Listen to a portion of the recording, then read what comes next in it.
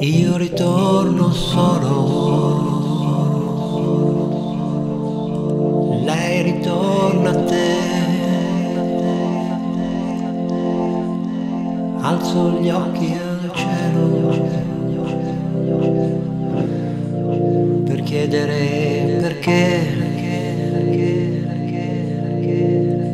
E maledire.